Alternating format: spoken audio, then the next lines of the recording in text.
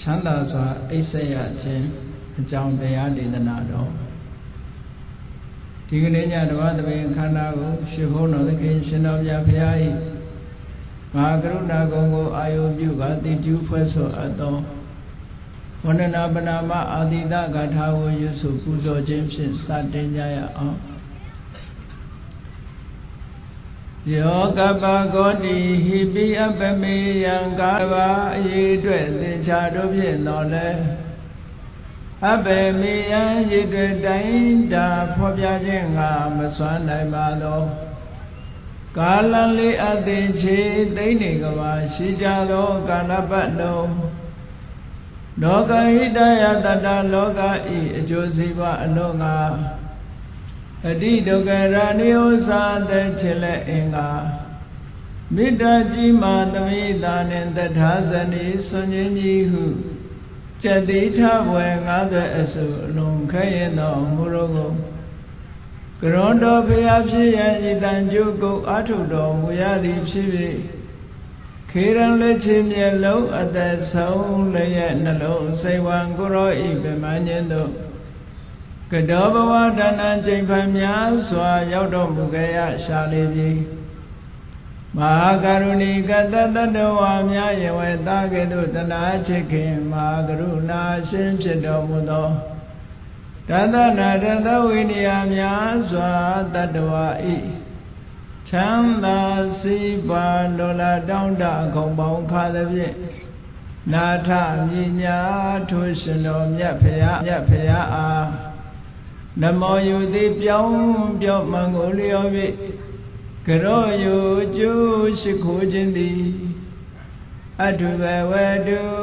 စင်စစ်မသွေဖြစ်ပါစေတည်း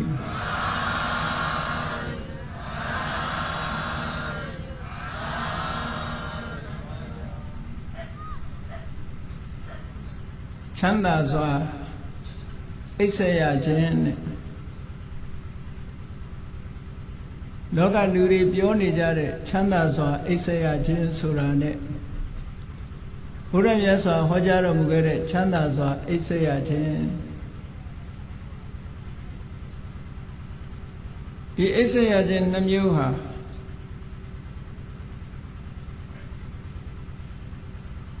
ခြားနာသောရှုထောင့်အမြင်များရှိသဖြင့်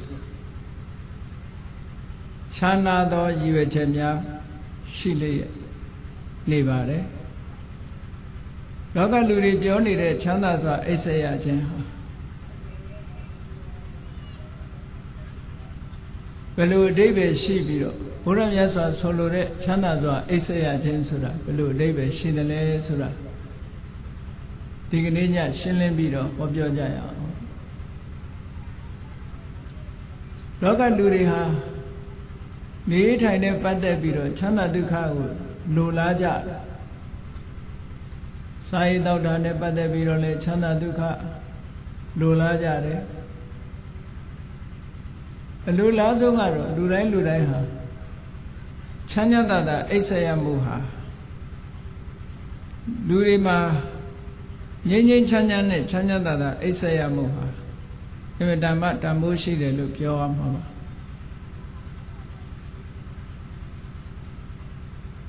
ဒါနဲ့ပတ်သက်ပြီးတော့မြတ်စွာဘုရားဟောကြားတဲ့ချမ်းသာစွာအိပ်ဆက်ရခြင်းရဲ့အဓိပ္ပာယ်ကအလွန်လေးနက်မှုရှိတယ်ဆိုတာကိုဟဋ္ဌကသုတ်တံကိုလေ့လာကြည့်ခြင်းဖြင့်သိရှိနိုင်ကြပါတယ်ချမ်းသာစွာအိပ်ဆက်ရခြင်းအဓိပ္ပာယ်ကိုဟဋ္ဌကသုတ်တံမှာမြတ်စွာဘုရားကရှင်းလင်းဟောကြားထားတာဖြစ်ပါတယ် အင်္ဂုတ္တရနိကေမှာဟထက3ဆိုတာပါရှိတယ်တခါတော့ကမြတ်စွာဘုရားသခင်ကိုရောမြတ်အလဝီပြည်အနီးနားကနွားအုပ်ကြီးဖြတ်တန်းသွားလာတဲ့တောထန်းတနေရာတိန်တမာဝနလို့ခေါ်တဲ့ရင်းတိုက်တောထဲမှာရှိတဲ့ အရွက်ကျဲကျဲနဲ့ရှိတဲ့ရင်းတိုက်ပင်ကြီးတပင်ရဲ့အောက်မှာရှင်တော်ဘုရားဟာနားနေခဲ့တာဖြစ်ပါတယ်အဲ့ဒီအချိန်ကရာသီဥတုကလည်းအမတန်အေးမြတဲ့ဆောင်းရာသီဖြစ်တယ်ဆောင်းရာသီဖြစ်တော့ရှင်းနိုင်ပင်ကအရွက်တွေဟာလည်းပဲကျွေတဲ့အရွက်ကကျွေးလာတော့ အပေါ်မှာကြည့်လိုက်ရရင်ကျိုးတို့ကျဲတဲ့အနေအထားမျိုးရှိတယ်မြတ်စွာဘုရားတရင်သုံးတဲ့တစ်ပင်ပတ်ဝန်းကျင်မှာလည်းပဲဖြတ်တန်းသွားလာထားတဲ့နွားအုပ်တွေရဲ့ခြေရာတွေကအနှံ့အပြားဖြစ်လို့မြေပေါ်မှာနွားခြေရာဈာကနေထွက်လာတဲ့ စုတဲ့ဖွယ်ဖြစ်နေတဲ့မာကြောလာတဲ့မြေတွေကလည်းပဲအပေါ်မှာစုံစုံချွန်ချွန်နေတက်နေတော့ထိုရင်၌ပင်အောက်ရောက်အောင်လမ်းလျှောက်ဖို့ဆိုတာခဲရင်တဲ့အနေထားမှာရှိတယ်ပေါ့နွားခွာရာကြားကထွက်တဲ့မားနေတဲ့မြေကိုနွားခွာရာစုလို့ဒီလိုခေါ်တယ် စုခဲ့လို့ခြုံပြီးတော့နေတယ်အဲ့ဒီပုံမှာလမ်းလျှောက်ဖို့ဆိုတာမြေတွေကအလွန်မာတဲ့အတွက်ကြောင့်ဖဏမပါပဲလမ်းလျှောက်မယ်ဆိုလို့ရှိရင်အမတန်လျှောက်ရခက်တဲ့အနေအထားပေါ့ရသော်ဘုရားသခင်ကိုရောမြတ်ကလည်းအရွက်ကျိုးတို့ကျဲတဲ့ရှိတဲ့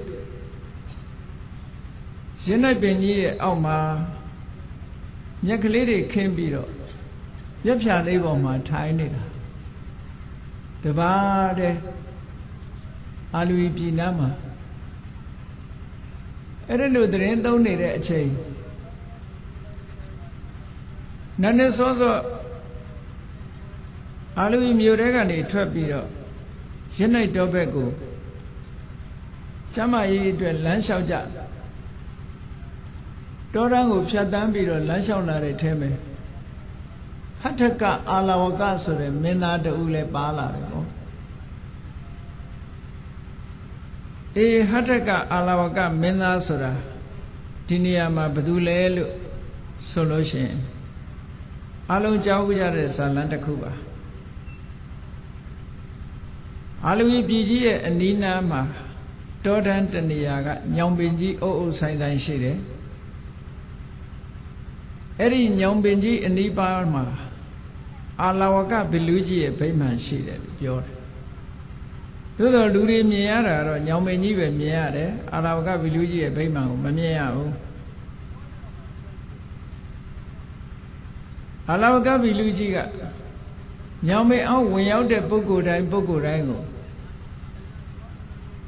သူကအပိုင်စားရထားတယ်ဒါကြောင့်မို့ညောင်ပင်အောင်ဝင်လာလို့ရှိရင်တော့သူ့အစာဖြစ်ကြရတာများတယ်ပေါ့ ဖြစ်ရပုံကတော့တနေ့မှာအာလူကြီးဘုရင်ကြီးကအချမ်းရံနေနဲ့တောကစားထွက်တာတောကစားထွက်တဲ့အခါမှာသမင်းနှကောင်တွေးတော့ကိုစီဝန်ချပြီးတော့ဝန်တာတွေကိုစီးနဲ့ကိုတာဝန်ပေးထားပြီးတော့ထိုသမင်းကို အမိဖမ်းဖို့အတွက် ဝိုင်းရံထားကြတယ်အဲ့ဒီလိုဝိုင်းရံထားပြီးတော့သမင်ကိုခြောက်တဲ့အခါမှာအမတန်အကင်းပါတဲ့သမင်ကဘယ်ဘက်ကထွက်ရမယ်ဆိုတာကြည့်လိုက်တဲ့အခါကျတော့ဘယင်ကြီးဘက်ကနည်းနည်းလူအုပ်နေနေတာမြင်တော့ဘယင်ကြီးဘက်ကထွက်ဖို့ကြိုးစားအဲ့ဒါလို့ကြိုးစားပြီးတော့သမင်ကထွက်ပြေးသွားတယ်ပေါ့ ဘယင်ကြီးတာဝန်ကြတဲ့အပိုင်းကနေပြီးသမင်ကလွတ်သွားတော့ဒါပဲမြန်မာတွေပြောနေကြတာရွှေသမင်ဘယ်ကထွက်မင်းကြီးတာကထွက်ဆိုတာအဲ့ဒါလို့လွတ်သွားတဲ့အခါကျတော့ဘယင်ကြီးကမာနတွေတက်လာပြီးမခံနိုင်ဘူးပေါ့အများကနေပြီးတော့သေယောမာကိုမခံနိုင်သည့်အတွက်ကြောင့်ကြိတ်ပြုံးပြုံးညမှာကိုမခံနိုင်သည့်အတွက်ကြောင့် သူ့ရဲ့ရဲစွမ်းတတ္တိပလအစွမ်းပြပြီးတော့သမင်ပြေးတဲ့နောက်ကနေလိုက်တယ်နောက်ဆုံးတော့သမင်တွေဟာပြေးနိုင်တယ်များပြေးပြီးမပြေးနိုင်တဲ့အချိန်ကျတော့လဲဆင်းပြီးတော့ခံကြတာပေါ့အဲ့ဒီချိန်မှာဘုရင်ကြီးဟာသမင်ကိုအရာဖမ်းတပ်ဖြတ်ယူပြီးတော့တကယ်တော့သမင်သားစားကြလို့တော့မဟုတ်ဘူးအပျော်ပါလောက်ကြတာအဲ့ဒီသမင်ကောင်းကို ပိုင်းပြီးတော့ထမ်းလာခဲ့တယ်ဒီသမင်သူရအောင်ဖမ်းနိုင်တယ်ဆိုတော့စွန့်ရည်တတ္တိကိုပြခြင်းလို့သမင်ကိုထမ်းယူခဲ့ပြီးတော့မောမောပန်းပန်းနဲ့ခုနကညောင်မင်းကြီးအောက်မှာချပြီးခဏနားနေတာဒီအခါမှာဘုရင်ကြီးကအန္တရာယ်ကြုံလာတယ်ပေါ့ အာလဝကဗီလူကြီးရဲ့ပိုင်တဲ့ထဲရောက်သွားတော့အာလဝကဗီလူကြီးကနေပြီးဘုရင်ကြီးကိုဖမ်းလိုက်တယ်ပေါ့ဖမ်းလိုက်တော့ဘုရင်ကြီးကကြောက်လန့်ပြီးတော့သူ့ကိုမစားပါနဲ့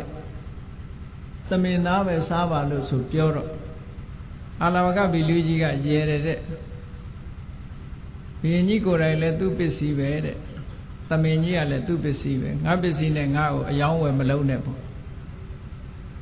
သမင်လည်းငါပိုင်တာပဲမင်းလည်းငါပိုင်တာပဲဆိုတော့ဘုရင်ကြီးကခက်ကြုံတယ်သူကပြောတယ်ငါသမ္မာပုဂ္ဂိုလ်မဟုတ်ဘူးဟောဒီအာလူပြည်ကြီးကိုပိုင်တဲ့ဘုရင်ငါ့ကိုစားရင်မင်းဒီတနေ့ပဲစားရမယ်ငါ့ကိုလွတ်လိုက်မယ်ဆိုရင်မင်းငါနေ့စဉ်နဲ့အမျှတနေ့ကိုလူတယောက်လူတယောက်ထမင်းအုပ်နဲ့ပို့ပေးမယ်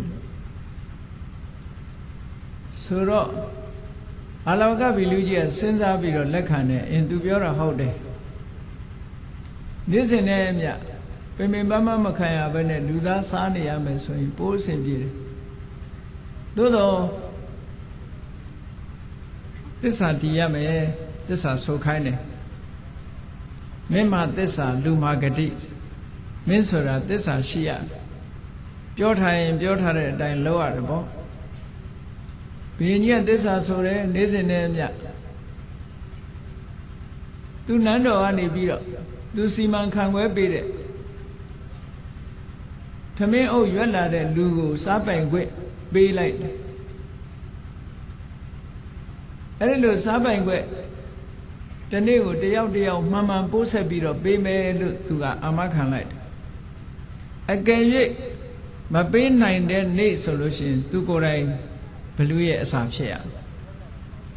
ဩဒီလိုထားတာအဲ့ဒါလို့သစ္စာပြုတ်ခဲ့ရတာဆိုတော့အာလဝကဘီလူကြီးကလွတ်လိုက်တယ်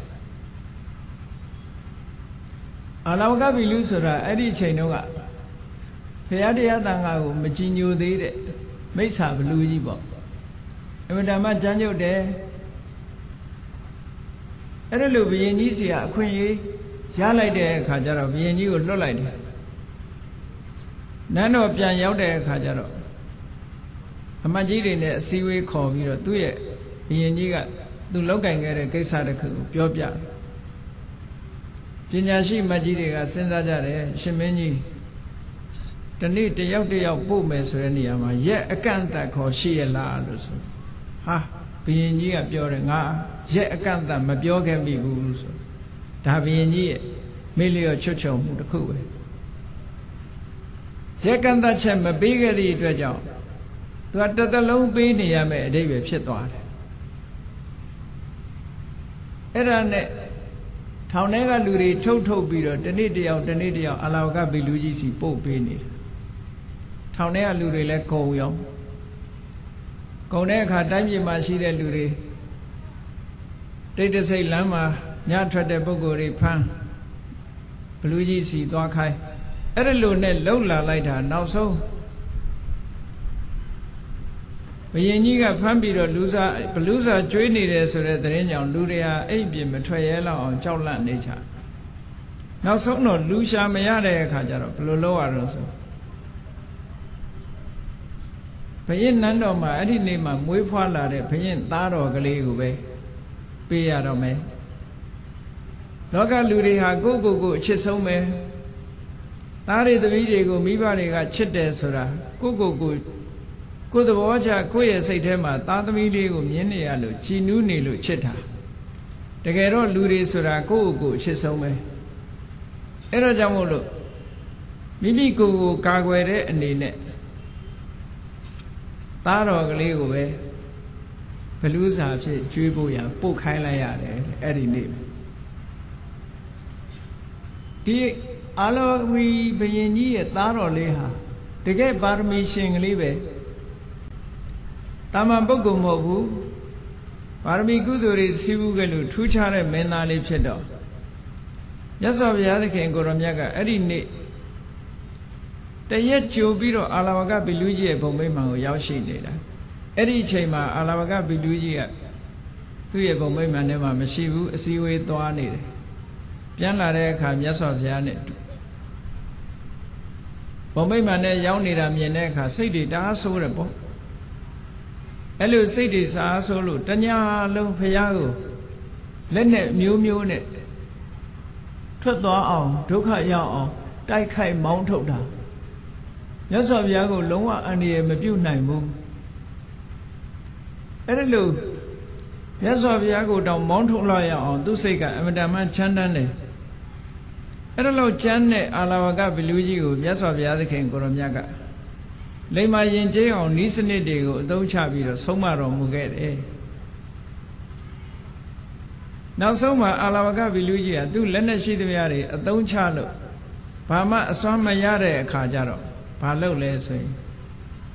အရှင်ဂေါရမသူများခွင့်မပြုတဲ့အိမ်ထဲမှာကျူးကျူးကြော်ကြော်ဝင်ရောက်နေတာအခုပဲထွက်သွားလိုက်ပါဆိုတော့ မြတ်စွာဘုရားကဒီလိုကြမ်းတမ်းတဲ့ပုဂ္ဂိုလ်တယောက်ကိုစိတ်ဓာတ်နုညံ့သွားအောင်ဤစနစ်ကိုအသုံးပြုတဲ့အနေနဲ့သူစကားကိုနားထောင်တဲ့အနေထားသူ့ကိုဆန့်ကျင်မဲ့မလုပ်ဘူးအေးမင်းကမနေစေခြင်းဘူးဆိုရင်သွားတာပေါ့ဆိုဘုရားကထားတာ။အော်သူစိတ်ထဲမှာဘလို့ထင်တော့ဟောတညလုံးငါထွက်သွားအောင်ကြိုးစားလဲရတာ။အမျိုးအမျိုးမျိုးကြိုးစားတာမရဘူးပေါ့။ အခုကျတော့လေပြောလို့ဆိုလို့လွယ်သားပဲမနေနဲ့သွားဆိုထသွားတာပဲဆိုတော့အဲ့တော့ငါပြောတဲ့အတိုင်းလှုပ်တာဟုတ်မဟုတ်သိရအောင်လို့ရှင်ဂေါရမပြောင်းဝင်ခဲ့ပါအောင်ဆိုတော့မင်းကဝင်စေခြင်းဝင်ခဲ့တာပေါ့ဆိုမြတ်စွာဘုရားကပြောင်းဝင်လာနောက်တစ်ခါထွက်သွားပါအောင်ဆိုထွက်သွားလိုက်တယ်ဝင်လာခဲ့ပါအောင်ဆိုဝင်လာတယ်ဘာဖြစ်လို့မြတ်စွာဘုရားကဘလူးခိုင်းတာတွေလုပ်နေရတယ်လဲလို့ဆို အင်မတန်စိတ်ကြမ်းတဲ့ဘလူးကြီးဟာစိတ်ဓာတ်ကလေးနုညံ့တော့အောင်လိုက်လျောစွာကြင်ကြံကြုတ်ကုတ်အထုတ်တာဒီနီးစနစ်ကလေးတွေကတကယ်မှန်ကန်တဲ့ဤစနစ်ကလေးတွေပဲတိတ်ကြမ်းတမ်းတဲ့ပုဂ္ဂိုလ်တွေစိတ်ထက်နူးညံ့သွားအောင်လုပ်တဲ့နေရာမှာသူတို့နဲ့လိုက်လျောညီတွေဆန့်ကျင်ဘက်မလုပ်ဖဲနဲ့သူတို့နဲ့လိုက်လျောညီတွေနေတာထိုင်တာဟာလည်းပဲ ကြမ်းတမ်းတဲ့ပုဂ္ဂိုလ်တယောက်ကိုနူးညံ့သွားစေတယ်တဲ့အေးနောက်ကြတော့ကျမ်းတဲ့ပုဂ္ဂိုလ်ဆိုတာကျမ်းတဲ့စိတ်ကိုသိပ်ပြီးတော့မစွန့်နိုင်ဘူးအတော်အသင့်နူးညံ့သွားတဲ့အခါနောက်တစ်ချိန်ကျတော့သူ့အတွေးကဘလို့တွေးတော့ဒီတစ်ခါရဟန်းကောဓမထွက်သွားရင်တော့ခြေတော်နှချောင်းကင်ပြီးတော့ဂင်းကမြေဟိုဘက်ကန်းထီအောင်ပြစ်မယ်လို့စိတ်ကူးတယ် အဲ့ဒါလို့စိတ်ကူးပြီးတော့ရဟန်းကောဓမသူ့ဗိမာန်ထဲကထွက်သွားလိုက်ပါလို့ဆိုတော့မြတ်စွာဘုရားကအစွမ်းတတ္တိပြတဲ့အနေနဲ့ငါမထွက်နိုင်ဘူးတဲ့။ဘာဖြစ်လို့တုံးဆိုတော့မင်းကငါ့ကိုထွက်သွားလို့ရှိရင်ခြေနှချောင်းကင်ပြီးတော့ဟိုဘက်ပြစ်မယ်လို့မင်းစိတ်ကူးနေတယ်ဆို။ तू အံ့ဩသွားတယ်။အော်ငါတွေးတာတောင်သိပါလား။အင်မတန်တကူးကြီးတဲ့ပုဂ္ဂိုလ်ပါလားလို့စိတ်ဝင်စားလာတာ။ဩအဲ့ဒီအချိန်မှာမြတ်စွာဘုရားက ငါ့ကိုခြေနှချောင်းကင်ပြီးတော့ဟိုဘက်ပြစ်နိုင်တဲ့ပုဂ္ဂိုလ်ဆိုတာလောကမှာမရှိဘူးဆိုပြီးတော့ပြောတော့ဒါဖြင့်အရှင်ဂေါရမကိုပု္ပ္ပာမေးမယ်မဖြေနိုင်လို့ရှင်အရှင်ဂေါရမနှလုံးသားကိုခွဲပြစ်မယ်လို့ကျမ်းမ်းတဲ့စကားဆိုပြန်တဲ့အခါမြတ်စွာဘုရားငါရဲ့နှလုံးသားကိုခွဲနိုင်လောက်အောင်မင်းမစွမ်းတတ်တိမရှိဘူးအေးမင်းမေးခြင်းတယ်ဆိုရင်တော့မေးမင်းမေးတာတွေငါအကုန်ဖြေမယ်လို့အဲ့ဒီလိုခွင့်ပြုတဲ့အခါမှာမေးခွန်းနေမေးတာ သူမေးတဲ့မေးခွန်းတွေကကတ္တဗဘုရားလက်ထက်တုန်းကအမေးနဲ့အဖြေနှမျိုးစလုံးရှိခဲ့တယ်ဒါကသဗ္ဗမြတ်စွာဘုရားလက်ထက်တုန်းကအမေးနဲ့အဖြေနဲ့ရှိခဲ့တာအဲ့ဒီရှိခဲ့တဲ့ထဲမှာအဖြေတွေမိကွန်းတွေရဲ့အဖြေတွေကပျောက်သွားတယ်မိကွန်းတွေပဲကြံတယ်ဒါကြောင့်မို့ဒီမိကွန်းတွေကိုသူကသိသိချင်နေတယ်ဘာတွေလဲဆိုတာအဲ့ဒါကြောင့်မို့အဲ့ဒီမှာမေးလိုက်တာဒီနေရာမှာမိကွန်းနဲ့အဖြေကိုတော့ဘုန်းကြီးတို့မပြောတော့ပါဘူးနော် ဘဝအရေးစိတ်အေးရလေအောင်ဆိုတဲ့တရားထဲမှာဘုန်းကြီးတို့ဟောထားတဲ့အထက်မှာရှိပါတယ်အဲ့ဒီမေခွန်းနဲ့အဖြေတွေအကြောင်းအဲ့ဒီမှာဒီနေရာမှာပြောချင်တာကတော့အာလဝကကြီးကိုဆုံးမလို့ယဉ်ကျေးပြီးတော့အာလဝကကြီးကဘုရားဘာသာအာလဝကဘီလူကြီးကဘုရားဘာသာဖြစ်သွားတယ်လို့ပြောအမတန်လိမ္မာယဉ်ကျေးပြီးတော့ဘုရားတရားတန်ခါဥဒိဋ္ဌာတွေဘယ်နေရာသွားသွားဘုရားတရားတန်ခါ ဥဒိဋ္ဌာရှ िख ိုးလေးရဲ့သွားပါမယ်ဆိုတဲ့ပဋိညာဉ်ပေးထားတဲ့အချိန်နန္ဒမိုးတော်အလင်းရောက်တဲ့အချိန်မှာခုနကအာလူဝီဘီရင်ကြီးကသားတော်လေးနဲ့ထမင်းအုပ်ကိုပို့လိုက်တဲ့အချိန်ဖះကရောက်ရှိနေတဲ့အချိန်လေးနဲ့အမတန်မှကံကောင်းတယ်ဒီမင်းသားလေးဟာအကယ်၍သာမြတ်စွာဘုရားရောက်ရှိပြီးတော့မနေဘူးဆိုရင်ဘလူးစားခံရမယ့်အနေအထားမျိုးရှိတယ်ပေါ့ အေးလိမ္မာရင်ကျေးသွားလို့ဒီမင်းသားလေးပို့လိုက်တဲ့အခါကျတော့ဘလူးကြီးကတတ်ဖို့နေနေသားသားရှေ့ကလူသားတွေကိုလူတွေရဲ့အသက်ကိုတတ်ဖြတ်ပြီးတော့စားတောက်နေတယ်ဆိုတာတောင်သိရမှာသိသွားမှာကိုရှက်တဲ့အနေအထားမျိုးရောက်သွားတယ်ပေါ့အလွန်ရှက်တယ်ဒါသိမှသိဆိုးတယ်သို့တော့မြတ်စွာဘုရားနဲ့အတူတူထိုင်းနေတဲ့အချိန်မှာမြတ်စွာဘုရားအနီးနားမှာထိုင်းပြီးတော့ လိမ္မာရင်ကျေးစွာနေတဲ့အချိန်မှာဘလူးကြီးကိုမင်းသားလေးနဲ့သမင်းအုပ်ကိုလာပြီးတော့ဆက်ဆက်ဆက်တာတဲ့အခါမှာဘလူးကြီးကမင်းသားလေးကိုလှမ်းယူလိုက်ပြီးတော့မြတ်စွာဘုရားကိုလှူဒန်းလိုက်တယ်တဲ့အဲ့တော့ဒီမင်းသားလေးဟာမင်းကြီးယောက်ျားတွေလက်ကနေပြီးတော့ဘလူးကြီးလက်ရောက်သွားတယ်ဘလူးကြီးလက်ကနေပြီးတော့မြတ်စွာဘုရားလက်ထဲရောက်သွားတယ်ဘုရားကိုလှူလိုက်တာ ဘုရားကိုလှူထားတဲ့မင်းသားလေးဖြစ်သွားတယ်ဒါကြောင့်မို့လို့လက်ဆင့်ပြောင်းလာတဲ့မင်းသားလေးဆိုတဲ့အဓိပ္ပာယ်နဲ့ဟတ္တကလို့ဒီလိုခေါ်တာဟတ္ထဆိုတာလက်ကဆိုတာတော့ခါငယ်ကနေပြောင်းလာတာလက်တစ်ခုကနေပြီးလက်တစ်ခုကိုပြောင်းရွှေ့ပြီးတော့အသက်ရှင်လာတဲ့မင်းသားလေးလို့ဒီလိုအဓိပ္ပာယ်ရတယ်မင်းကြီးယောက်ျားတွေရဲ့လက်ကနေပြီးတော့ဘလူးကြီးလက်ဘလူးကြီးလက်ကနေပြီးတော့ဖရားလက်ထဲရောက် ဖရားလက်ကမှတခါမင်းကြီးမင်းကြီးယောက်ျားတွေလက်ကိုပြန်ပြီးတော့အနှံပေးလိုက်တယ်ဒါကြောင့်မို့ဒီမင်းသားလေးဟာနန်းတော်ပဲပြန်ရောက်သွားတယ်ပေါ့သို့တော်လည်းဖះကိုလှူထားတာဖြစ်သောကြောင့်ခုခေတ်စကားနဲ့ပြောမယ်ဆိုရင်မြတ်စွာဘုရားရဲ့မွေးစားသားဖြစ်သွားပြီပေါ့အဲ့ဒါလို့ဘုရားရဲ့မွေးစားသားဖြစ်တဲ့ဟတ္တကဆိုတဲ့ဒီမင်းသားဟာသာသနာတော်မှာအလွန်ထင်ရှားလာတဲ့မင်းသားတူဖြစ်လာ အရွယ်ရောက်လာတဲ့အခါမှာသူ့ရဲ့နောက်ကဥပဒကာတွေ900အချမ်းရံနဲ့အမတန်မှစီစီလုံးလုံးရှိတယ်ဟတ္တကဟာသူ့နောက်လိုက်နောက်ပါဥပဒက900ကိုသူကစီးလုံးထားတဲ့နေရာမှာအလွန်အစွမ်းထက်အခြားပရိသတ်တွေတဲ့သူကစီးလုံးညင်ညာမှုရှိတယ်ဒါကြောင့်မို့မြတ်စွာဘုရားကဥပဒကဒါယကာတွေကိုသာသနိကဘွယ်တူးတွေပေးတဲ့အခါမှာ ဟထကအာလာဝကကိုလည်းပဲဘွယ်တူးတစ်ခုထည့်ပြီးတော့ပေးထားတယ်အဲ့ဒီဘွယ်တူးကတော့ဘာလဲဆိုရင်သင်္ဃဝတ္ထု၄ပါးဖြင့်နောက်လိုက်နောက်ပါတို့ကိုစီယုံတဲ့နေရာမှာထူးချွန်ဆုံးဆိုတဲ့ဘွဲကိုပေးတယ်စီယုံမှုထူးချွန်စုပေါ့စီယုံတဲ့နေရာမှာအလွန်ထူးချွန်တယ်လို့ဟတ္တကအာလာဝကမင်းသားလေးကိုဒီလိုပွဲပေးထားတယ်သူဟာတာမန်ပုဂ္ဂိုလ်မဟုတ်ဘူးနောက်ကြတော့ သောတာပန်တဂရကနေနောက်ဆုံးအနာဂတ်အဆင့်ထီအောင်ရောက်သွားပြီသာသနာတော်မှာထင်ရှားတဲ့မင်းသားလေးတစ်ပါးဖြစ်လာတယ်ဟောသူ့မှာအံ့ဩဖွယ်ကောင်းတဲ့အံ့ဖွယ်ကောင်းတဲ့အည်အသွေးတွေကဘာတွေတုံးဆိုရင်သူဟာတရားတရားသိကောင်းတယ်တဲ့ဟောတရားတရားကောင်းတဲ့နေရာမှာအလွန်ထင်ရှားတယ်တရားတရားကောင်းတယ်နောက်ကိုချင်းသီလနဲ့ပြည့်စုံတယ်ကိုချင်းသီလနဲ့ပြည့်စုံတဲ့နေရာမှာလည်းပဲ အလွန်ထင်ရှားတယ်နောက်တစ်ခုကမကောင်းတာလောက်ရမှာမဟုတ်တာပြောရမှာမဟုတ်တာကြံစီရမှာ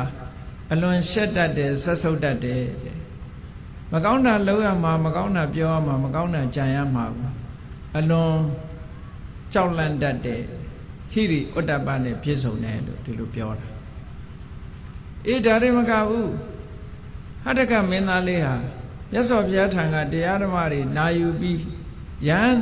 ယရဟန်းတော်ရှင်မြတ်တွေစီကရဟန္တာရှင်မြတ်တွေစီကတရားဓမ္မကိုနာယူထားလို့တရားဓမ္မနဲ့ပတ်သက်လာလို့ရှိရင်ဘုဒ္ဓတွေအများကြီးရှိတယ်တဲ့ဘုဒ္ဓတွေအများကြီးရှိတယ်နောက်တစ်ခုကတော့တရားတရားကောင်းတဲ့ပုဂ္ဂိုလ်ဖြစ်သည့်အားလျော်စွာအမြဲတမ်းစွန့်လွတ်လှူဒန်းမှုရရောမှုဆိုတဲ့စာခခုံနဲ့လည်းပြည့်စုံတယ် နှမျောတွန့်တူခြင်းမရှိဘူးဟတ္တကမင်းသားလေးဟာစွန့်ကြဲပိတ်ကတဲ့နေရာမှာလည်းပဲအမတန်မှရရောတယ်နောက်ကုံတစ်ခုကတော့သူကပညာထက်မြက်တယ်လို့ဒီလိုဆိုတယ်ထက်မြက်တဲ့ပညာဆိုတာတာမန်အခြေခံပညာမျှတာမကဘူး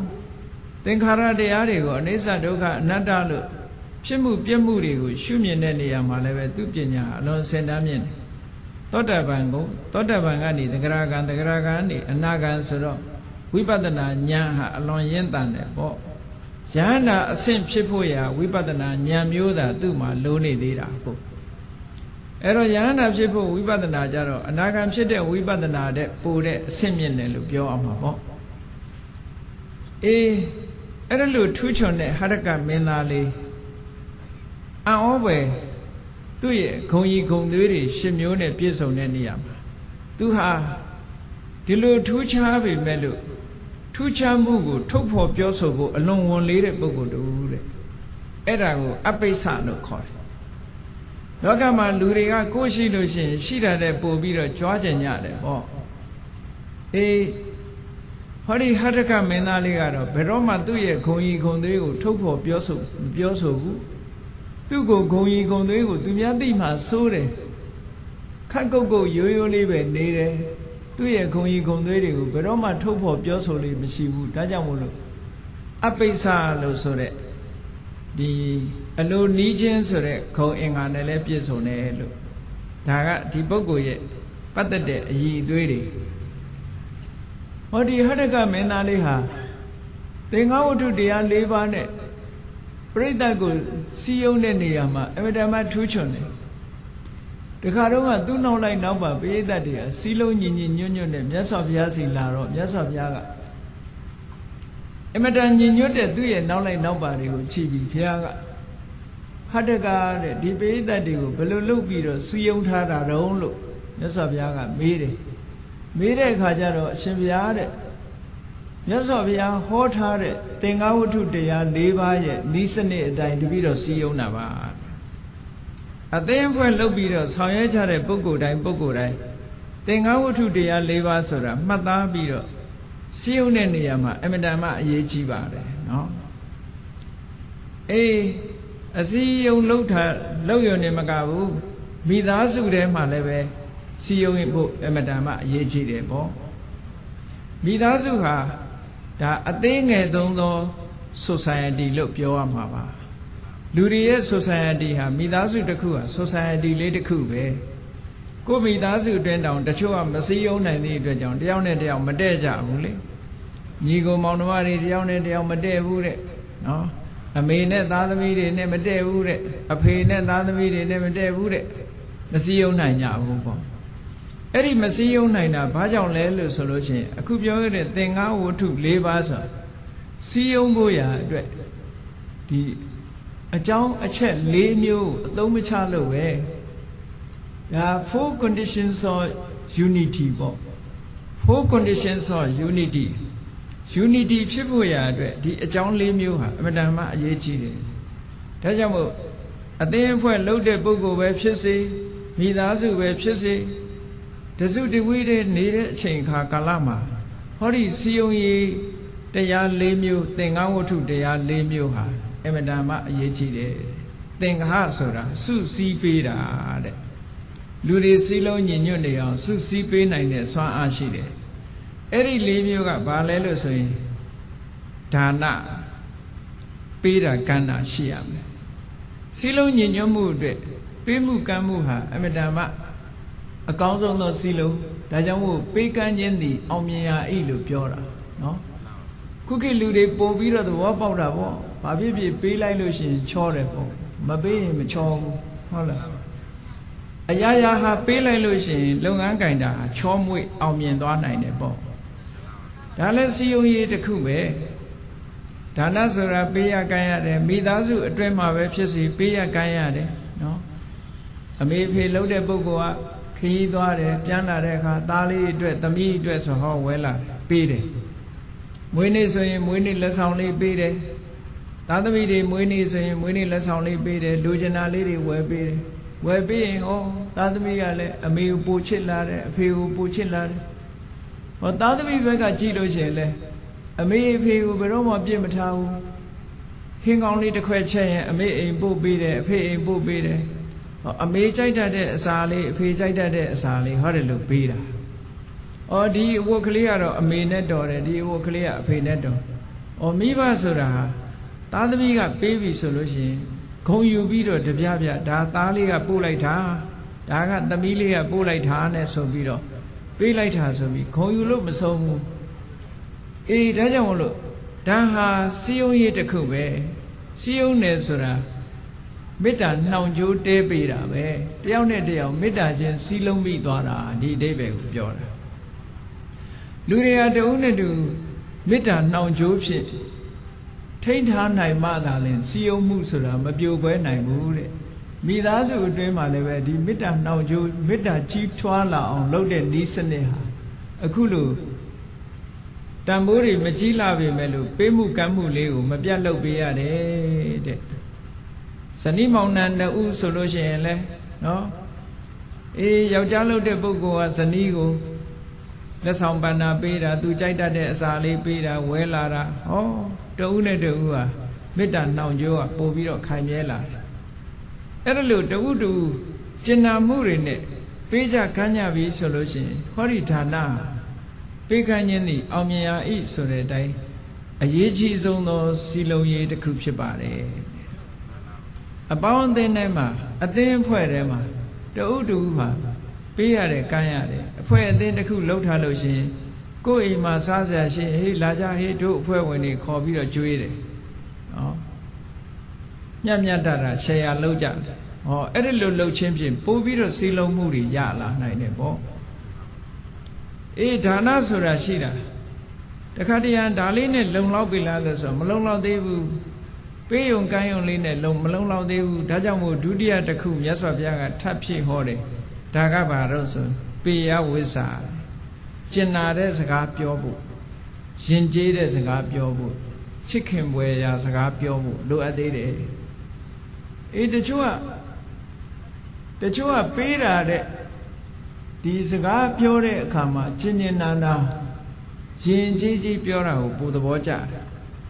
အဲ့ဒါလို့ယဉ်ကျေးကျေးသဘောကျတော့ဒီအတွက်ကြောင့်မြတ်စွာဘုရားက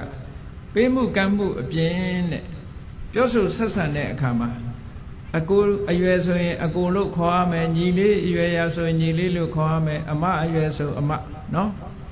အေးတချို့ကျတော့မတန်မတန်အရွယ်ကြီးခေါ်တာရှိသေးတယ်ကိုယ်ရဲ့ငယ်ရဲ့သားနဲ့အန်တီလို့သွားခေါ်ရင်ရံဖြစ်ခံမှာပဲအဲ့ဒါနော်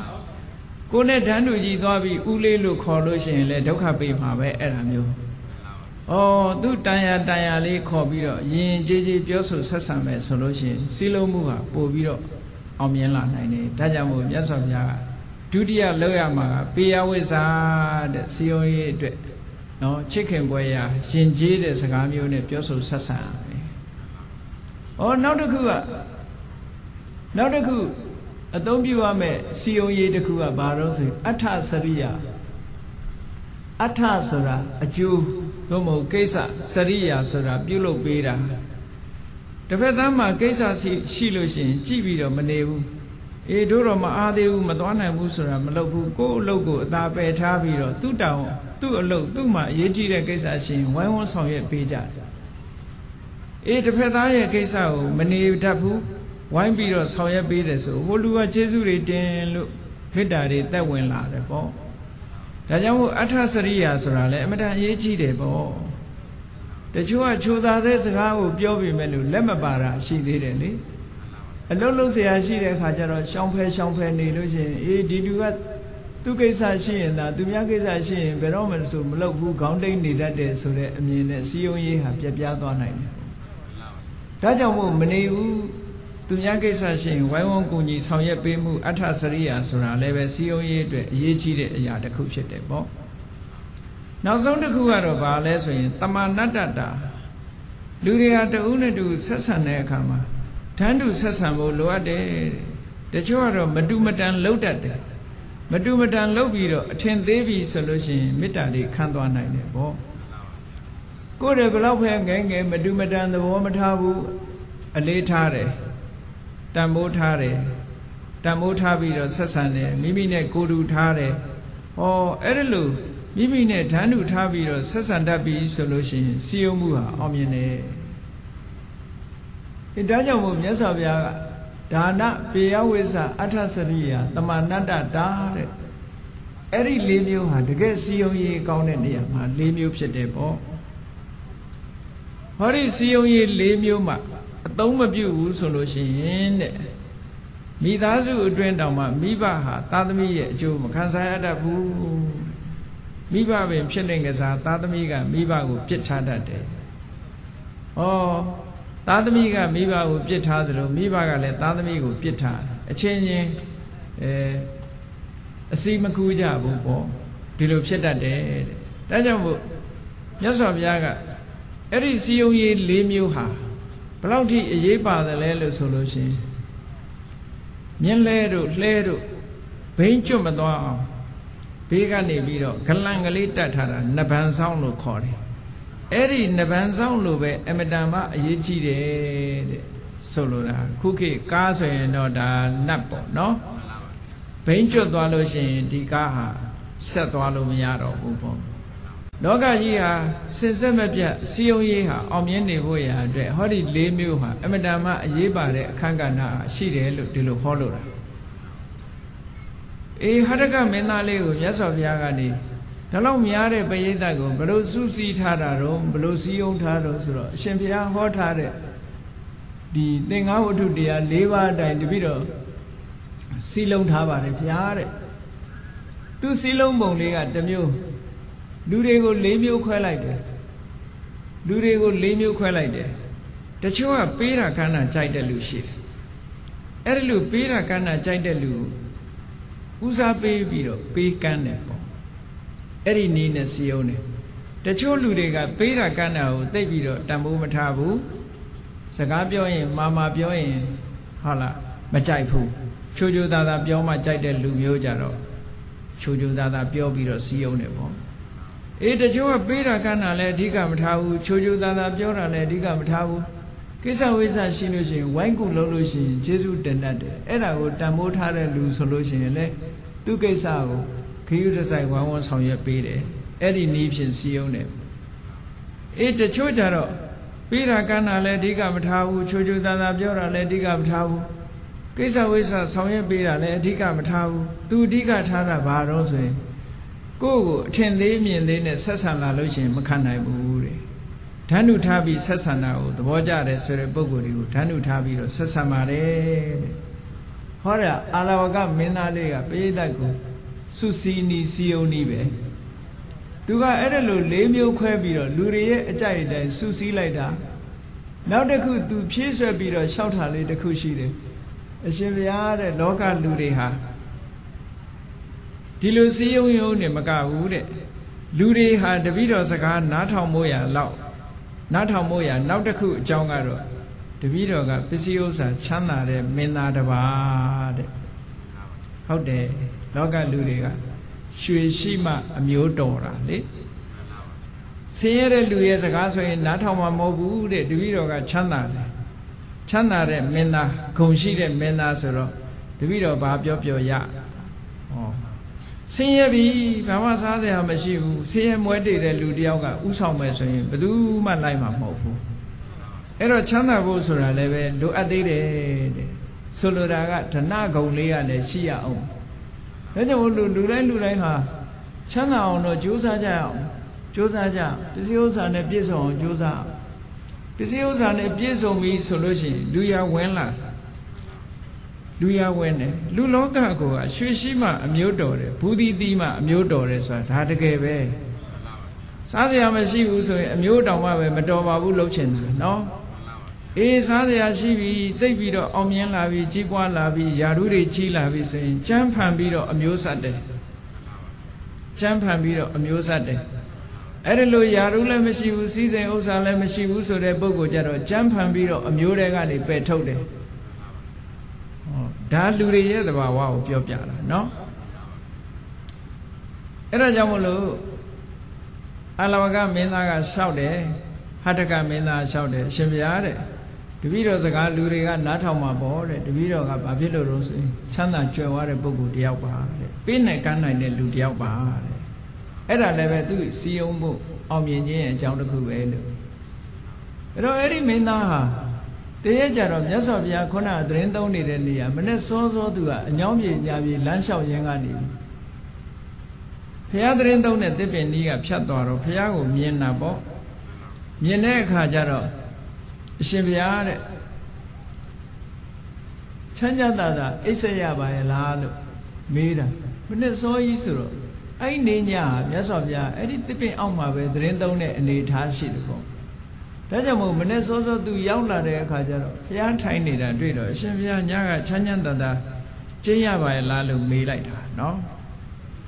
ကျင်းတယ်ကိန်းဆက်တယ်ဆိုတဲ့ဗမာစကားဟာကိန်းအောင်တယ်ဆိုတဲ့အလားအဲ့ဒီကိန်းကနေပြီးတော့ဘလို့ကြောင့်ကျင်းပြောင်းသွားတယ်လည်းမသိဘူးနော်ကိန်းအောင်မွေးလျော်ဆိုတာကတူဒီတနေရာဒီ အာယုံမျိုးမျိုးစိတ်တွေမလွင်ပါစေပဲနဲ့တူဒီနေတာထိုင်တာကိုကိန်းအောင်တယ်လို့ဒီလိုအဓိပ္ပာယ်ရတယ်အဲ့ဒီကနေဆက်ပြီးတော့ဒီကိန်းနဲ့ကျိန်းတယ်ဆိုတဲ့စကားလုံးကိုကြည့်ပြီးတော့ဘုန်းကြီးတွေလည်းဘယ်အချိန်ဖြစ်ဖြစ်တကားတွေကလာလို့ရှိရင်ရှင်ဘုရားကျိန်းနေသလားကြီးမေးတာဒါပေမဲ့အတိဘယ်ကကျိန်းနေသလားဆိုအိတ်နေသလားဆိုဘုန်းကြီးရဲ့တဏီကုံအိတ်နေတဲ့အတိဘယ်ရောက်နေဘယ်ချိန်လာလာအဲ့ဒါတဘာတဲ့နေရင်တော့အရှင်ဘုရားကျိန်းနေတာလားနဲ့မေးကြတယ်နော် အဲ့ဒီကျိန်းနေတယ်ဆိုတဲ့အတိဘယ်ကအိတ်နေတယ်ဆိုတဲ့အတိဘယ်မဟုတ်ဘူးတဘာဒီကိန်းအောင်နေတယ်လို့ဒီလိုပြောတာနော်ပฏิတန်လာနဆိုတဲ့စကားလုံးကလာတာတဘာဒီကိန်းအောင်တယ်ဆိုတာအာယုန်တစ်ပါးစိတ်တွေမလွင့်ပွားရအောင်ထိမ့်သိမ့်ပြီးတော့ကမ္မထာဘာဝနာနဲ့နေမယ်ဒီလိုစိတ်ကိုအာယုန်နေထဲမှာထွေပြားပြီးတော့မသွားအောင်ကမ္မထာအာယုန်တစ်ခုတည်းနဲ့တမာရိလုပ်ငန်းတစ်ခု လှုပ်ပြီးတော့နေတာမျိုးကိုကိန်းအောင်တယ်လို့ဒီလိုပြောတာနော်အဲအခုတော့လူတွေဟာဒီအဓိပ္ပာယ်မဟုတ်တော့ဘူးဘုန်းကြီးကျိန်းနေတယ်ဆိုတော့ဘုန်းကြီးတွေကျိန်းနေတာဆိုတော့အိတ်နေတာလို့အဓိပ္ပာယ်ယူတယ်အဲအဲ့ဒီအဓိပ္ပာယ်ကတော့မမှန်ဘူးပေါ့နော်အေးကောင်းပြီဒီမင်းသားလေးကမေးတယ်မြတ်စွာဘုရားကိုတွေ့တဲ့အခါရှ िख ိုးဝချပြီးအရှင်ဘုရားချမ်းချမ်းသာသာကျိန်းစေရပါရဲ့လားဆိုတော့မြတ်စွာဘုရားဖြေတယ်အေး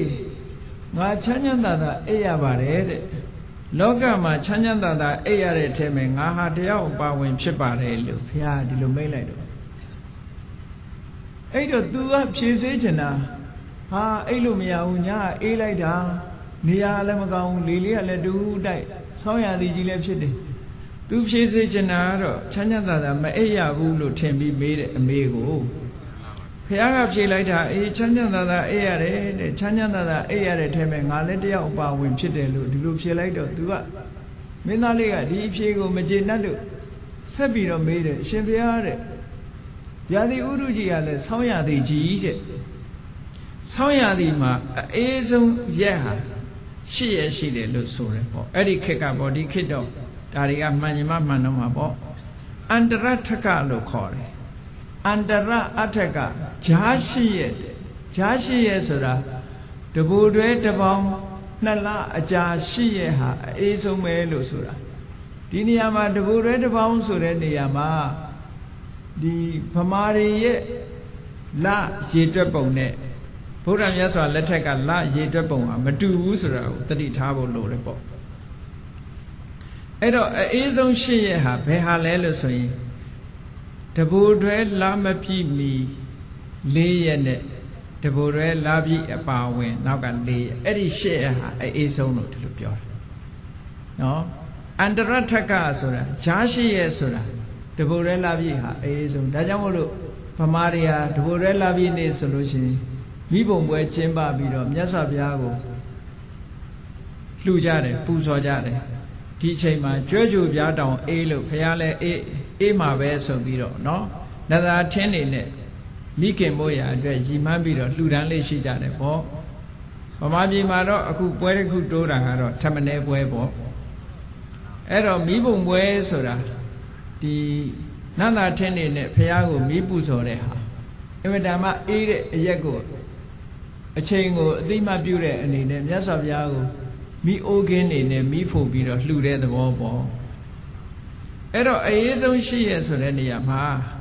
တဘူရဲလာပြီဆိုတာဗမာပြည်ကတဘူရဲလာပြီလို့သုံးတာဟာကောင်းကင်ကလာကြီးကတော့ပြည့်တယ်ဒါပေမဲ့လို့ရက်30ဖြစ်တဲ့လကမပြည့်သေးဘူးလပြည့်ဆိုတဲ့အတိပ္ပယ်ဟာကောင်းကင်ကလပြည့်တာကိုပြောတာမြတ်စွာဘုရားလက်ထက်တုန်းကလပြည့်ဆိုတဲ့နေရာမှာကောင်းကင်ကလလည်းပြည့်တယ်ရက်30လလည်းပြည့်တယ်ဒီလိုယူရမှာ ကောင်းကင်ကလပြည့်တယ်လို့ရက်30လလည်းပြည့်တယ်လို့ဆိုတော့ဒီတဘိုရဲတပေါင်းနှစ်လအကြာရှိရဆိုတဲ့နေရာမှာတဘိုရဲလပြည့်နေ့အပါဝင်နော်ရှိရကိုပြောတာအဲ့ဒီရှိရဟာစံချိန်တင်လောက်အောင်အေးတဲ့ရာသီလို့အန္တရထက်ကဆောင်းရာသီမှာအေးဆုံးအချိန်လို့ဒီလိုသတ်မှတ်တယ်စာပေတွေထဲမှာပေါ့ သို့တော့ရာသီဥတုတွေကခက်ပြောင်းလာတဲ့အတွက်ကြောင့်ပြောင်းလာတာကိုတော့တတိထားရမှာပေါ့အဲ့ဒီချိန်တုန်းကအေးပေမဲ့လို့ခုချိန်ကျတော့အေးချင်မှအေးမှာပေါ့အေးအဲ့ဒါတော့ထက်စဉ်းစားရမှာဟိုချိန်တုန်းကဒီရာသီဟာအေးဆုံးပဲလို့ဆိုတယ်အဲ့တော့မြတ်စွာဘုရားသတင်းသုံးနေတဲ့အချိန်ကလည်းပဲအဲ့ဒီရှိရထဲကတရေရဲ့မှာသတင်းသုံးနေတဲ့အချိန်ဖြစ်လို့ဟတ္တကမင်းသားကလျှောက်တယ်အရှင်ဘုရားတဲ့ရာသီကလည်းဆောင်းရာသီကြီးတဲ့ အေးဆုံးဖြစ်တဲ့ရှိရထဲမှာလည်းရောက်နေတယ်တဲ့ပြီးတော့လေလေးကလည်းတဟုဟုတိုက်နေတယ်ပတ်ဝန်းကျင်ကလည်းပဲနွားတွေဖြတ်တန်းသွားတာထားလို့မြေတွေကလည်းမညီမညာနွားခွာစူးတွေနဲ့ခြုံတက်ပြီးတော့နေတယ်အရှင်ဘုရားသတင်းသုံးတဲ့ရင်းတိုက်ပင်ရဲ့အရွက်တွေကလည်းအမတန်ကျိုးတို့ချဲတဲ့နဲ့အိုးဆိုင်ဆိုင်မရှိဘူးတဲ့အောက်ကခင်းထားတဲ့မြက်ခင်းလေးကလည်းပါပါလေးရဲ့ဒီလိုနေရာမျိုးမှာ နေထိုင်တာဖြစ်ပါရဲ့တန်းနဲ့ချမ်းချမ်းသာသာအိပ်ရရဲ့လားဆိုတော့အေးငါချမ်းချမ်းသာသာအိပ်ရတယ်လို့ဆိုတာဘယ်လိုအဓိပ္ပာယ်ပါလဲဖေဟာ။ဩသူ့အနေနဲ့ကတော့မြတ်စွာဘုရားချမ်းချမ်းသာသာအိပ်ရတယ်လို့ तू မထင်ဘူး။ဟုတ်တာပေါ့။ဆောင်းရသည်ကြီးမှာလေတဟူးတိုက်နေတဲ့ဒေသထဲမှာအင်မတန်အေးတဲ့နေရာနော်။သင်္ကန်းလေးကလည်းပါတယ်။သင်္ကန်းတွေကလည်းအင်မတန်အေးတယ်လေလေးကလည်းမြောက်လေလေးကလည်းတိုက်နေတယ်။ အဲ့ဒီအချိန်မှာဘယ်လိုလုပ်ချမ်းချမ်းသာသာအိပ်ဘုန်းကြီးတို့တွေစဉ်းစားတာကြည့်တော့ဆောင်းရသည်မှာအိမ်ပြင်ထွက်ပြီးတော့အဝတ်ပါးလေးနဲ့နေကြည့်ပါလားဘယ်လိုလုပ်ချမ်းသာမှာတော့နော်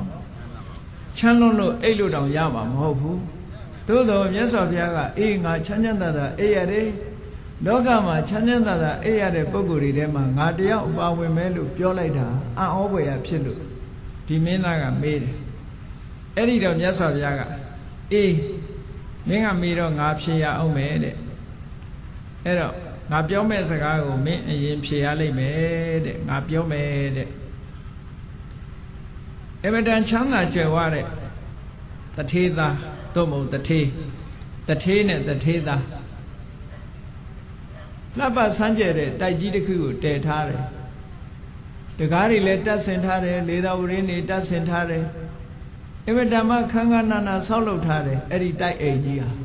အဲ့ဒီတိုက်အိမ်ထဲမှာတဲ့မွေးရှည်ကော်စောကြီးတွေခင်းထားပြီးတော့အိတ်ဆက်ရာတလွန်ညောင်ဆောင်ကလည်းအမတန်မှခါနာတယ်ခုခေတ်လို့ဆိုလို့ရှိရင်တော့ဆိုဖာကြီးနဲ့ပေါ့နော်ဆိုဖာကြီးတွေနဲ့အမတန်မှဣဆက်ညံ့ညောတဲ့အိယာပေါ်မှာအခန်းကလေလုံမိုးလုံဣဆက်ညံ့ညောတဲ့အစင်တန်းမြင့်တဲ့အိယာကြီးပေါ်မှာအိတ် ဘေးကလည်းပဲဇနီးလေးယောက်ကနေခြံရံပြီးတော့ပြုစုနေတယ်တညာလုံးလဲစီမီကလေးထွန်းထားတယ်အဲ့ဒီလိုအိယာမျိုးမှာအိပ်ဆက်နေရတဲ့တထေးသားဟာမင်းဘယ်လိုထင်တယ်လဲတဲ့အဲ့ဒီလူဟာသိချမ်းချမ်းသာသာအိပ်ရမယ်လို့မင်းထင်သလားလို့ဆိုတော့အရှင်ဘုရားတဲ့အဲ့ဒီလိုစီးစိမ်မျိုးနဲ့ရှိတဲ့တထေးသားဟာဒီလိုအခြေအနေမျိုးမှာအိပ်ရမယ်ဆိုရင်တော့အလွန်ချမ်းချမ်းသာသာအိပ်ရမှာဖြစ်ပါတယ်လို့မင်းသားလျှောက်တယ် ဒါလောကလူတွေကဒါဟာစိန်ကြတယ်လို့ပဲယူဆမှာပေါ့အဲ့လိုအိယာမျိုးမှာအိတ်လျရလို့ရှိရင်ဟေးစိန်ကြတယ်လို့ပဲပြောကြမယ်ချမ်းချမ်းသာသာအိတ်ရတယ်လို့ပဲပြောကြမှာပဲသူလည်းအဲ့ဒီတိုင်းပဲဖြေလိုက်တယ်အဲ့ဒီတော့မြတ်စွာဘုရားကချမ်းချမ်းသာသာအိပ်ဆက်ရခြင်းအဓိပ္ပာယ်ကိုဒီမင်းသားနားလည်အောင်ထပ်ပြီးတော့ရှင်းပြမြတ်စွာဘုရားကျွတ်တို့ကျဲတဲ့နဲ့တစ်ပင်အောက်မှာကျိမ့်ဆက်ရတာနဲ့ ခုနကလေလုံမိုးလုံတိုက်ကြီးထဲမှာခန်းခန်းနာနာအိယာကြီးတွေနဲ့အိပ်ဆက်ရတာအချမ်းအယံအပြုစုအယူရတွေနဲ့အိပ်ဆက်ရတာဒီနှစ်ခုကိုမြတ်စွာဘုရားကလောကအမြင်အားဖြင့်ကြည့်မယ်ဆိုလို့ရှိရင်ဘုရားအိပ်ဆက်ရတာဆင်းရဲတယ်ခုနကတထေသာအိပ်အိပ်ဆက်ရတဲ့နေရာကအမတန်မှချမ်းသာတယ်ဒါလောကလူတွေရဲ့အမြင်ဟောမြတ်စွာဘုရားကရှင်းပြတယ်ကြည့်တဲ့အဲ့ဒီတထေသာမှာတဲ့ ရာဂစိတ်တွေဖြစ်ပွားလာလို့ရှိရင်စိတ်နှလုံးဟာပူပန်လာလိမ့်မယ်ရာဂဆိုတာဘယ်တော့မှအလိုမကျဘူးတဏှာရာဂဆိုတာအလိုမကျဘူးစိတ်နှလုံးကိုပူပန်စေတတ်တယ်ကိုယ်ဆင်းရဲမှုကိုဖြစ်စေတတ်တယ်စိတ်ဆင်းရဲမှုကိုဖြစ်စေတတ်တယ်အဲ့ဒီကိုယ်နှုတ်နှလုံးကိုပူပန်စေတတ်တဲ့ရာဂကြောင့်ဖြစ်ပေါ်လာတဲ့အပူတွေ အဲ့ဒီအပူတွေရှိနေမယ်ဆိုလို့ရှိရင်ဘလောက်ကောင်းတဲ့အိယာဘောအိတ်အိတ်ချမ်းချမ်းသာသာအိတ်ဆက်တာဆိုတာဖြစ်နိုင်ပါမလားတဲ့အဲ့ဒီလိုရာဂဆိုတဲ့အတွင်းပူတွေစိတ်နှလုံးထဲမှာပူလောင်နေတဲ့အပူတွေနဲ့အိတ်ဆက်လို့ရှိရင်သူဟာဆင်းရဲတဲ့စင်စင်ရဲရဲအိတ်ဆက်ရတာပဲအဲ့ဒီလိုစင်စင်ရဲရဲအိတ်ဆက်ရခြင်းအကြောင်းဖြစ်တဲ့ရာဂဆိုတဲ့တရားကိုငါဟာအရှင်းပယ်ထားပြီးသားဖြစ်တယ်ပေါ့ ငါမှစိတ်နှလုံးကိုပူပန်စေတတ်တဲ့ရာဂဆိုတာငါမှမရှိဘူးတဲ့ဆိုလိုတာကမြတ်စွာဘုရားရဲ့ရွယ်ချက်ကဖះမှာအတွင်းပူမရှိဘူးပေါ့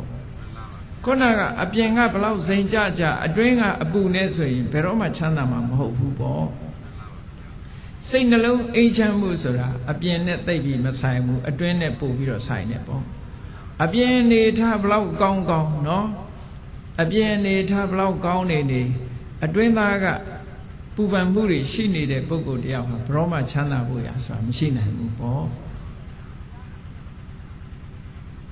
အပေါ်ယံရွှေမုံကျဲအထဲကနောက်ချေးခံဆိုတာတော့အတွင်းထဲကအပူတွေစုနေတဲ့ပုဂ္ဂိုလ်တယောက်ရဲ့နှလုံးသားဟာဘရောမှအေးချမ်းမှာမဟုတ်ဘူးတဲ့မြတ်စွာဘုရားကငါရဲ့နှလုံးသားဟာရာဂဆိုတဲ့ပူပန်စေတတ်တဲ့တရားတွေလုံးဝကင်းရှင်းပြီးပြီတဲ့လုံးဝ အကျွင်းကြံမရှိအောင်ပယ်ထားပြီးဖြစ်သည့်အတွက်ကြောင့်ငါဟာချမ်းချမ်းသာသာအိပ်ဆက်ရတာဖြစ်တယ်ပေါ့။ဩရာဂဆိုတဲ့အပူမရှိလို့ချမ်းချမ်းသာသာအိပ်ဆက်ရတယ်။ထို့တူပဲဒေါသကြောင့်ဖြစ်တဲ့ပူပန်ဆင်းရဲမှုတွေဆိုတာရှိတယ်။အေးကြည့်လေတယောက်နဲ့တယောက်မတက်လို့စိတ်ကောက်နေမယ်ဆိုလို့ရှိရင်အိပ်ပျော်မှာမဟုတ်ဘူးလေအဲ့ဒီနေရာအိပ်မပျော်ဘူးစိတ်ထဲမှာအလိုမကျဖြစ်နေလို့ရှိရင်ဒေါသတွေထွက်နေတဲ့ပုဂ္ဂိုလ်တယောက်ဟာအိပ်လို့မရဘူးဘ လောက်ကောင်းတဲ့အိယာကြီးပေါ်တင်ပေးပေးဒီပုဂ္ဂိုလ်ဟာတအုံနှွေးနှွေးနဲ့စိတ်ဆိုးပြီးတော့ဘယ်တော့မှစိတ်ထဲမှာချမ်းသာမှုရမှာမဟုတ်ဘူးအေးမြတ်စွာဘုရားကငါမှအဲ့ဒီလိုတအုံနှွေးနှွေးရင်ကိုပူနွေးစေတတ်တဲ့ပူလောင်စေတတ်တဲ့ဒေါသဆိုတာငါမှမရှိတော့ဘူးတဲ့လုံးဝဖယ်ရှားထားပြီးသားဖြစ်တယ်ဒါကြောင့်မို့လို့ငါရဲ့ရင်ဟာအေးနေတယ်ပေါ့အေးနေသည့်အတွက်ကြောင့်ငါဟာချမ်းချမ်းသာသာအေးရတယ်ထို့တူပဲမောဟ အမှန်မသိတဲ့မောဟဟာလည်းပဲပြဿနာတွေကိုတက်စေတတ်တယ်ပြဿနာကိုတက်စေတတ်သည့်အတွက်ကြောင့်မောဟဟာလည်းပဲပူလောင်မှုကိုဖြစ်ပေါ်စေတတ်တဲ့သဘာဝတရားတစ်ခုပဲအဲ့ဒီပူလောင်မှုကိုဖြစ်စေတတ်တဲ့မောဟရှိနေတဲ့ပုဂ္ဂိုလ်တယောက်ဟာဘယ်တော့မှချမ်းချမ်းသာသာအိပ်စေရတာဆိုတော့မဖြစ်နိုင်ဘူးတဲ့အဲ့ဒီမောဟဆိုတဲ့တရားကိုငါငါတဏ္ဍာမှာအကျွင်းကြံမရှိအောင်ငါဖယ်ရှားထားပြီးသားဖြစ်တယ်ဒါကြောင့်မို့ငါရဲ့တဏ္ဍာမှာ ပူလောင်နှလုံးသားကိုပူလောင်စေတတ်တဲ့ရာဂဆိုတာလည်းမရှိဘူးဒေါသဆိုတာလည်းမရှိဘူးမောဟဆိုတာလည်းမရှိဘူးတခြားအကုသိုလ်တွေလည်းမရှိဘူးဒါကြောင့်မို့လို့နှလုံးသားကြည်လင်အေးမြပြီးတော့ငြိမ်းချမ်းနေတာအဲ့ဒါကြောင့်မို့လို့ငါရဲ့အိတ်ဆက်နားနေမှုဟာဘယ်နေရာပဲဖြစ်ဖြစ်အတွင်းကနှလုံးသားအေးချမ်းနေသည့်အတွက်ကြောင့်ဘယ်တော့ပဲဖြစ်ဖြစ်ချမ်းသာနေတာပဲလို့ဒီလိုဟောတာအဲ့တော့ဘုန်းကြီးတို့တွေက အပြင်ပံလေးကိုကြည့်ပြီးတော့ချမ်းသာတယ်လို့ပြောနေကြတာအတွင်းကပူလောင်နေတာကိုလူတွေကမသိဘူးအတွင်းပူနဲ့အပြင်ပူဆိုတဲ့နေရာမှာအပြင်ပူကခံနိုင်တယ်အတွင်းပူကမခံနိုင်ဘူးလောကလူတွေဒုက္ခရောက်နေတာဟာအတွင်းပူကြောင့်ဒုက္ခရောက်နေတာအတွင်းပူရှိလာလို့ရှိရင်အပြင်ပူတဲ့ဆိုးတယ်ပေါ့အပြင်ပူပူတာကတခဏမျှတာပူတာ အတွင်းပူပူပြီဆိုလို့ရှိရင်တတန်တရာလုံးဒုက္ခရောက်သွားနိုင်တယ်ပေါ့အေးဒီအခြေအနေတွေကိုရည်ညွှန်းပြီးတော့မြတ်စွာဘုရားသခင်ကိုရောမြတ်ကလောကမှာတဲ့အတွေ့အတာမှုတွေမရှိဘူးမုန်းတိမှုတွေမရှိဘူးမှားမှားယွင်းယွင်းဒီတွေ့ဝေမှုကြောင့်မှားမှားယွင်းယွင်းချွတ်ချော်မှုတွေမရှိဘူးဆိုတဲ့ပုဂ္ဂိုလ်တယောက်ဟာအမြဲတမ်းချမ်းချမ်းသာသာအိပ်ဆက်ရတဲ့ပုဂ္ဂိုလ်ပဲဖြစ်တယ်တဲ့နှလုံးသားကိုပူလောင်စေတတ်တဲ့ ကိလေသာတွေမကင်းသေးတဲ့ပုဂ္ဂိုလ်ဟာကိလေသာတွေနှလုံးသားထဲမှာမငြိမ့်သေးဘူးဆိုလို့ရှိရင်ထိုပုဂ္ဂိုလ်ဟာဘယ်တော့မှချမ်းချမ်းသာသာအိပ်ဆက်ရတဲ့ပုဂ္ဂိုလ်ဆိုတာမဖြစ်နိုင်ဘူးလို့ဒီလိုဟတ္တကမင်းသားကို ရှင်းလင်းပြီးတော့မြတ်စွာဘုရားဟောတာအဲ့တော့မြတ်စွာဘုရားရဲ့အဓိပ္ပာယ်ကချမ်းချမ်းသာသာအိပ်ဆက်ရခြင်းဆိုဒီမှာနှလုံးသားအပူငြိမ့်ပြီးတော့ ကိလေသာခတ်သိမ်းငြိမ့်နေတဲ့ပုဂ္ဂိုလ်ရဲ့အိပ်ဆက်မှုသာလင်ချမ်းချမ်းသာသာအိပ်ဆက်ရခြင်းလို့ဆိုနိုင်တယ်ကိလေသာအပူတွေရှိနေတဲ့ပုဂ္ဂိုလ်ရဲ့အစဉ်တမ်းမြင့်တဲ့အိယာကြီးတွေပေါ်မှာအိပ်ပြီးတော့အပြင်ပန်းအပြင်ဇိမ်ကြတယ်ချမ်းသာတယ်လို့ဒီလိုထင်ရတော့လေအတွင်းဘူးတွေနှိမ့်ဆက်နေသည့်အတွက်ကြောင့်ပူလောင်မှုတွေနဲ့လုံးဝနေရလို့သူ့ရဲ့စိတ်နှလုံးဟာအေးချမ်းမှုမရှိဘူး စိတ်နှလုံးအေးချမ်းမှုမရှိသည့်အတွက်ကြောင့်အဲ့ဒီပုဂ္ဂိုလ်ဟာချမ်းချမ်းသာသာအိပ်စက်ရတယ်ဆိုတဲ့အဓိပ္ပာယ်မရပါဘူးတဲ့စင်စင်ရဲရဲပဲအိပ်စက်ရပါတယ်တကယ်လည်းပဲလောဘဒေါသမောဟဆိုတာတွေရဲ့အနောက်ရှက်ကြောင့်ထိုပုဂ္ဂိုလ်ဟာဘယ်တော့မှချမ်းချမ်းသာသာအိပ်စက်ရမှာမဟုတ်ဘူးစိတ်ထဲမှာအလိုမကျမှုတွေနဲ့လုံးပန်းပြီးတော့အလိုမကျတွေနဲ့ထွေးလုံးပြီးတော့စိတ်နှလုံးဟာပူလောင်နေသည့်အတွက်ကြောင့်စိတ်ငြိမ်းချမ်းမှုဆိုတာလုံးဝမရနိုင်ဘူးတဲ့ အေးဒါကြောင့်မို့မြတ်စွာဘုရားသခင်ကိုရောမြတ်ကချမ်းသာစွာအိပ်ဆက်ရတယ်ဆိုတဲ့တကယ်အတိတ်ပဲဟာနှလုံးသားအေးချမ်းမှုရှိမှချမ်းသာစွာအိပ်ဆက်ရတယ်ရာဂဒေါသမောဟစတဲ့ကိလေသာတွေချုပ်ငြိမ်းမှသာလျှင်တကယ်ကိုအေးချမ်းတယ်ဆိုတာကိုပြောလို့ရမယ်ချမ်းသာစွာအိပ်ဆက်ရတယ်ဆိုတဲ့ပုဂ္ဂိုလ်ဟာတကယ်ကိုရာဂဒေါသမောဟငြိမ်းချမ်းတဲ့ပုဂ္ဂိုလ်မှသာဖြစ်နိုင်တယ်ပေါ့အေးလောကလူတွေဟာမအိပ်ရလို့အိတ်ဆေးတောက်ရတဲ့ပုဂ္ဂိုလ်တွေရောမရှိဘူးလား အေးစိတ်ငြိမ်သေးဆိုပြီးတော့တောက်နေရနှလုံးသားအပူတွေအကြောင်းမလို့တညာလုံးအိတ်မပျော်ဘူးတဲ့တောကတွေဖြစ်နေလို့တညာလုံးအိတ်မပျော်ဘူးတဲ့အဲ့ဒီအပူတွေကြောင့်အိတ်မရလို့အိတ်ဆေးတောက်ပြီးတော့အိတ်ကြနေရတယ်ဒါဟာတကယ်အဖြေမဟုတ်ဘူးတကယ်အိတ်ဆေးကတော့မြတ်စွာဘုရားရဲ့တရားတော်သာဖြစ်တယ်ပေါ့ဘယ်ချိန်ဒီတရားတော်ကိုလိုက်နာကျင့်ကြံကြုတ်ကုတ်အထုတ်မယ်ဆိုရင် လောဘတွေလျှော့ချနိုင်မယ်ဒေါသတွေလျှော့ချနိုင်မယ်မောဟတွေလျှော့ချနိုင်မယ်နောက်ဆုံးလောဘဒေါသမောဟတွေကင်းပြီးတော့နှလုံးသားရဲ့ပူလောင်မှုတွေအကုန်ကင်းသွားရင်ဘယ်နေရာမှာပါနေနေစိတ်နှလုံးဟာအေးချမ်းနေမှာပဲဖြစ်တယ်ဒါကြောင့်မို့တရားချစ်ခင်သူတော်စင်ပြိဿအပေါင်းတို့သည်တို့တွေဟာစိတ်နှလုံးအေးချမ်းသာယာမှုရှိမှသာလျှင်ချမ်းသာစွာအိပ်ဆက်ရတယ်ဆိုတဲ့အဓိပ္ပာယ်ကိုအပြည့်အဝရကြမှာဖြစ်တယ်။ တမန်အပြင်ကြည့်ပြီးတော့တို့တွေဟာချမ်းသာစွာအိပ်ဆက်ရတယ်လို့ဖြေလို့ရှိရင်မပြည့်စုံတဲ့စကားမျိုးသာဖြစ်တယ်ပေါ့။အေးအဲ့ဒါလို့သဘောကျပြီးတော့တို့တွေဘာလို့ရမလဲချမ်းချမ်းသာသာအိပ်ဆက်ရခြင်းရဲ့အဓိပ္ပာယ်ပြည့်စုံအောင်ဘာလို့ရမလဲ။နှလုံးသားကိုပူလောင်စေတတ်တဲ့ရာဂတွေဖယ်ရှားဖို့ကြိုးစားရမယ်ဒေါသတွေဖယ်ရှားနိုင်အောင်ကြိုးစားရမယ်မောဟတွေဖယ်ရှားနိုင်အောင်ကြိုးစားရကဲကြိုးစားပြီဆိုတဲ့အခါမှာရာဂဖယ်ရှားအောင်ဘာနဲ့ကြိုးစားမလဲ ရာဂကိုဖယ်ရှားဖို့ရာအတွက်နံပါတ်1ကဘုန်းကြီးတို့တွေရာဂဟာဘာကြောင့်ဖြစ်နေသလဲလို့ဆိုရင်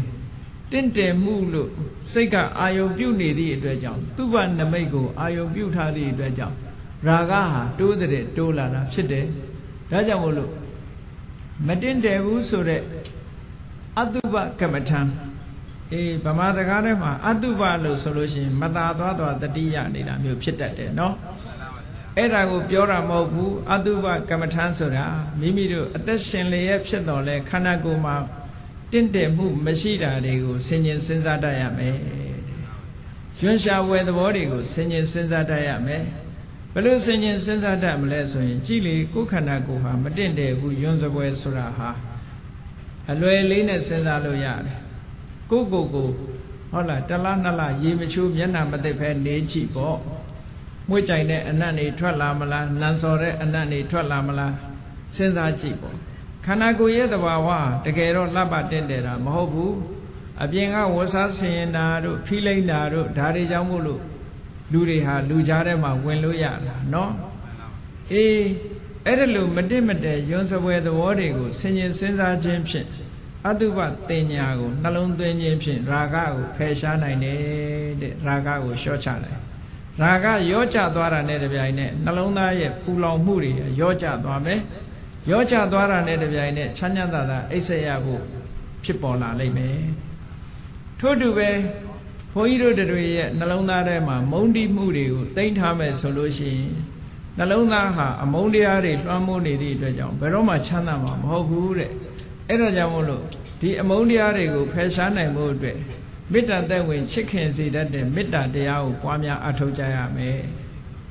အဲ့တော့မေတ္တာနှလုံးသားနဲ့အစားထိုးပြီးတော့နေနိုင်မှသာလေဘုန်းကြီးတို့ရဲ့နှလုံးသားထဲဟာအမုန်းတရားတွေကင်းစင်သွားလိမ့်မယ်မေတ္တာသက်ဝင်ချစ်ခင်တဲ့ကြည်လင်အေးမြတဲ့စိတ်ဓာတ်ကိုရရှိလာတဲ့အခါမှာချမ်းသာသာအိဆရာမှုဆိုတာဖြစ်ပေါ်လာမှာပါအဲ့ဒီလိုမဟုတ်ဘဲနဲ့အမုန်းတရားတွေနှလုံးထဲမှာထားမယ်ဆိုလို့ရှိရင်ဘယ်တော့မှချမ်းသာသာအိဆရာမှုဆိုတာရမှာမဟုတ်ဘူးတဲ့ ထို့တူပဲအသိဉာဏ်ကင်းမဲ့နေကြမယ်ဆိုလို့ရှိရင်လှုပ်တင်တာနဲ့မလှုပ်တင်တာခွဲခြားမသိဘူးမသိသည့်အတွက်ကြောင့်မလှုပ်တင်တာတွေလှုပ်လိုက်မယ်လှုပ်တင်တာတွေကိုမလှုပ်ဘူးဆိုရင်ပြဿနာတွေတက်မယ်ပြဿနာတွေတက်ရင်ထိုပြဿနာကြောင့်စိတ်တွေဟာတည်ငြိမ်မှုမရဘူးတဲ့မောဟကြောင့်ဖြစ်ပေါ်လာတဲ့ရင်ထဲမှာပူနွေးစေတတ်တဲ့အခြေအနေမျိုးတွေရောက်လာတယ်ဒါကြောင့်မို့အဲ့ဒီမောဟကိုပယ်ဖြောက်ဖို့ရာအတွက်အသိပညာရအောင်ကြိုးစားကြရမယ် အသိပညာရဖို့ရာအတွက်တရားနာရမယ်တရားစာအုပ်တွေဖတ်ရမယ်နော်သုတ္တမယဉာဏ်ရမယ်ကပ္ပထတရားအားထုတ်ရမယ်အားထုတ်လို့ရှိရင်ဘာဝနာမယဉာဏ်တွေရလာမယ်သုတ္တမယပညာဘာဝနာမယပညာဒီပညာနှစ်ခုပြင်မောဟကိုလျှော့ချနိုင်တယ်ပေါ့နောက်ဆုံးဟာသဘာဝတရားတွေရဲ့အစစ်မှန်ကိုသိမြင်ခြင်းဖြင့်မှန်မှန်ကန်ကန်စဉ်းစားတွေးခေါ်နိုင်တဲ့အသိဉာဏ်ကိုရရှိခြင်းဖြင့် သင်္ခါရတရားတွေရဲ့မမြဲတဲ့သဘောတွေကိုဆင်ခြင်စဉ်းစားခြင်းဖြင့်ဘုန်းကြီးတို့တွေဟာပူလောင်မှုတွေရောတတ်မဲ့မှုတွေရောအလုံးကိုလျှော့ချသွားနိုင်ပါလိမ့်မယ်တဲ့အဲ့ဒီလိုပူလောင်မှုတွေတတ်မဲ့မှုတွေလျှော့ချသွားနိုင်တာနဲ့တပြိုင်နက်ချမ်းသာစွာအိပ်စက်ရမှုဆိုတာရရှိလာမှာဖြစ်ပါတယ်အေးဒါကြောင့်မို့လို့နာဒေါသမောဟဆိုတဲ့အခြေခံအကုသိုလ်တရားသုံးပါးကိုဖယ်ရှားပြစ်ခြင်းဖြင့်အခြားအကုသိုလ် တဘာဝတရားတွေကိုလည်းဖယ်ရှားနိုင်မှာဖြစ်တယ်ဒါကြောင့်မို့တရားချစ်ခင်သူတော်စင်ပြိဿတ်တို့သည်တို့တွေချမ်းချမ်းသာသာအိပ်စက်ရဖို့အတွက်ဘာလုပ်ရမလဲဆိုတာရာဂဒေါသမောဟဆိုတဲ့ဒီတရားတွေကိုဖယ်ရှားဖို့ရအဓိကဖြစ်တယ်ဆိုတာကိုစီကုံကသဘောကျပြီးတော့ဟောဒီဟတကတုတ်လာတဲ့မြတ်စွာဘုရားရဲ့အဖြေချမ်းသာစွာအိပ်စက်ရခြင်းရဲ့အဓိပ္ပာယ်ကိုအလေးနဲ့စဉ်းစားပြီးတော့ လောဘဒေါသမောဟစတဲ့ကိလေသာအပူတရားတွေကိုဖယ်ရှားနိုင်အောင်ကြင်ကြံကြိုးကုပ်အားထုတ်နိုင်ကြပါစေကုန်သတည်း